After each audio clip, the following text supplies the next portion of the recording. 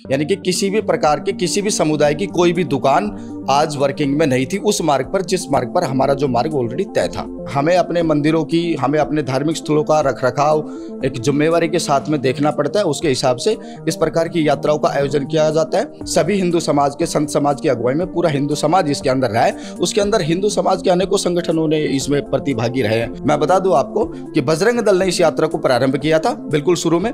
प्रथम वर्ष इस यात्रा को पूर्णतः बजरंग दल ने शुरू किया था और उसके बाद में नेक्स्ट ईयर जब ये यात्रा हुई तो उस यात्रा से पहले ही बजरंग दल ने ये कह दिया था कि हमने इस यात्रा को शुरू किया, अब हम इस यात्रा को समाज के हाथों में सौंप रहे हैं और आगे से इस यात्रा को समाज पूरा करेगा। हरियाणा प्रांत के सभी जिलों से इस यात्रा में भक्तगण और श्रद्धालु इस यात्रा में शामिल हुए हैं और डर और भय नाम की कोई चीज़ किसी प्रकार की नहीं देखी किसी भी कार्यकर्ता में।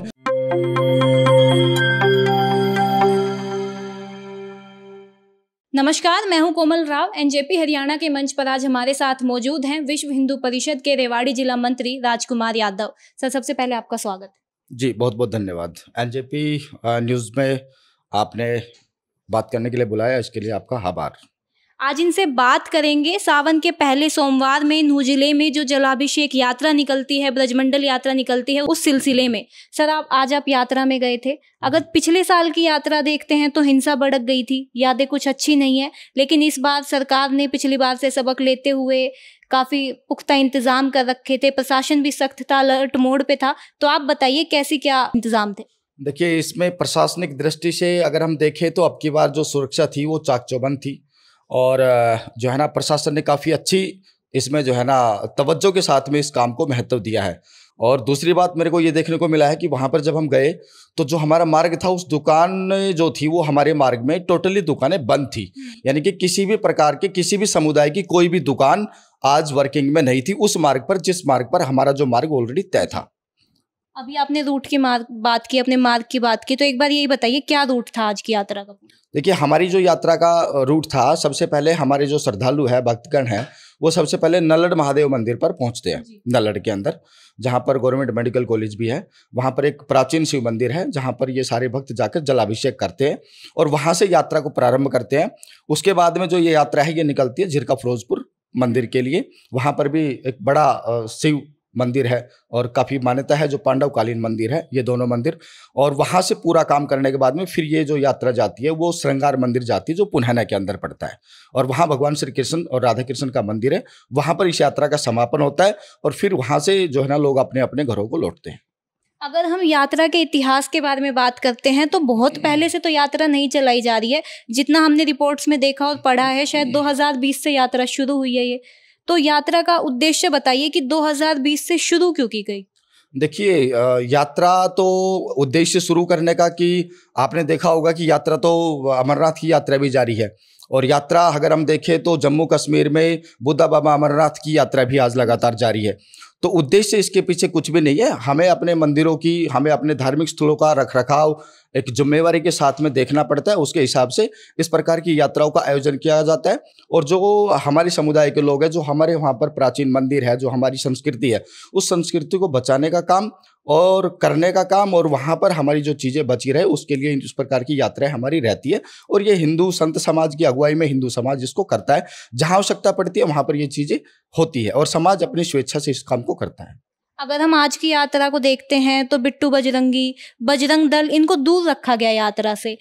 धार्मिक यात्रा थी तो इसमें ये हिचक क्यों कि दूर रखना पड़ा? नहीं, देखिए, इसमें दूर रखने की किसी प्रकार की कोई इस प्रकार का नहीं है कि संगठन ने या फिर हिंदू समाज ने या संत समाज ने ये कहा हो कि इसमें कोई किसी प्रकार के कोई अलग से व्यक्ति या कोई विशेष संगठन को इसमें कोई दूर नहीं किया गया है। सभी हिंदू समाज के, संत समाज की अगुवाई में पूरा हिंदू समाज इसके अंदर रहा है। उसके अंदर हिंदू समाज के अनेकों संगठनों ने इसमें प्रतिभागी रहे हैं और अच्छे से इस यात्रा को पूर्ण किया है, बखूबी। तो ऐसा कुछ नहीं है। कि किसी भी संगठन से कोई आ, कोई परहेज किया गया है ऐसा कुछ नहीं है। अभी शिवरात्रि के समय दलाभिषेक क्या फिर से होगा? देखिए शिवरात्रि तो अब तो श्रावण मास चल चुका है हम्म, और इसमें प्रत्येक सोमवार को भारी संख्या में श्रद्धालु स्वेता पहुँचेंगे। और ये जो हमारी यात्रा है ये यात्रा जो तय की गई थी मैं बता दूँ आपको कि बजरंग दल ने इस यात्रा को प्रारंभ किया था बिल्कुल शुरू में। प्रथम वर्ष इस यात्रा को पूर्णतः बजरंग दल ने शुरू किया था और उसके बाद में नेक्स्ट ईयर जब ये यात्रा हुई तो उस यात्रा से पहले ही बजरंग दल ने ये कह दिया था कि हमने इस यात्रा को शुरू किया अब हम इस यात्रा को समाज के हाथों में सौंप रहे हैं और आगे से इस यात्रा को समाज पूरा करेगा। समाज हमसे जो सहयोग मांगेगा या जो व्यवस्था मांगेगा हम उसमें सहयोग करेंगे। ये बजरंग दल का कहना है विश्व परिषद का कहना है इसमें। आज का ये मेरा अंतिम सवाल होगा आपसे। पिछले साल की यात्रा को देखते हैं। हिंसा, भड़की आगजनी हुई, काफ़ी कुछ हुआ वहाँ पर। तो क्या इस बार लोगों के मन में कुछ डर नहीं था? भीड़ उतनी ही थी या कुछ कमी आई है भीड़ में? किन किन जिलों से लोग आए हैं? देखिए, हरियाणा प्रांत के सभी जिलों से इस यात्रा में भक्तगण और श्रद्धालु इस यात्रा में शामिल हुए हैं और डर और भय नाम की कोई चीज़ किसी प्रकार की नहीं देखी किसी भी कार्यकर्ता में। जो कार्यकर्ता गए अपने पूरे विश्वास और अपने मन से इस यात्रा के अंदर गया है। किसी को बहका कर या दबाव में इस यात्रा में कोई जाता भी नहीं और ना किसी को ले जाया जाता है। तो कोई भय नाम की चीज़ नहीं है कार्यकर्ताओं में ना है ना तो कार्यकर्ताओं में ना ही समाज के अंदर कोई भय नाम की चीज़ है। ऐसा कुछ नहीं है। भीड़ का उत्साह कैसा था?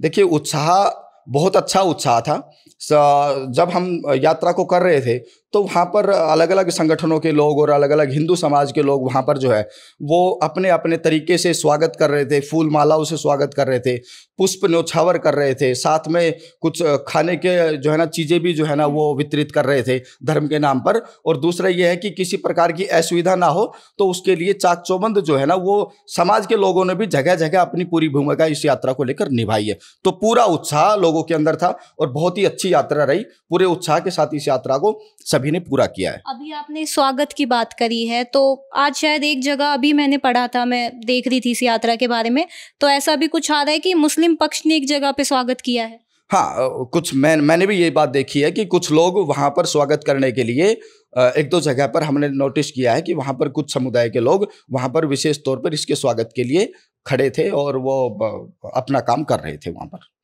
धन्यवाद। Thank you.